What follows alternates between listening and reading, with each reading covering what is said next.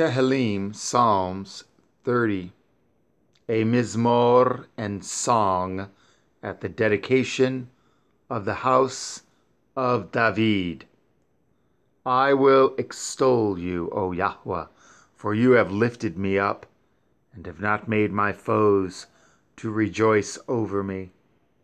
O Yahweh Elohai, I cried unto you, and you have healed me. O Yahweh, you have brought up my soul from Sheol.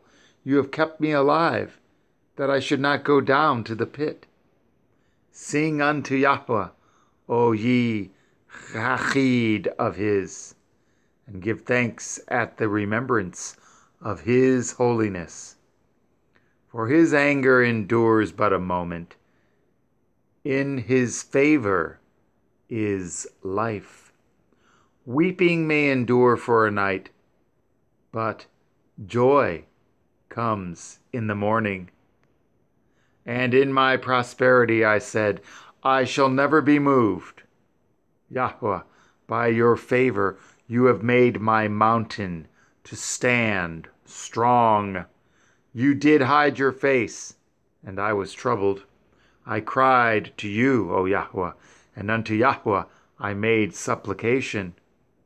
What profit is there in my blood when I go down to the pit? Shall the dust praise you? Shall it declare your truth? Hear, O Yahweh, and have mercy upon me. Yahweh, be my helper. You have turned for me my mourning into dancing. You have put off my sackcloth and girded me with gladness, to the end that my glory may sing praise to you, and not be silent. O Yahweh Elohai, I will give thanks unto you forever.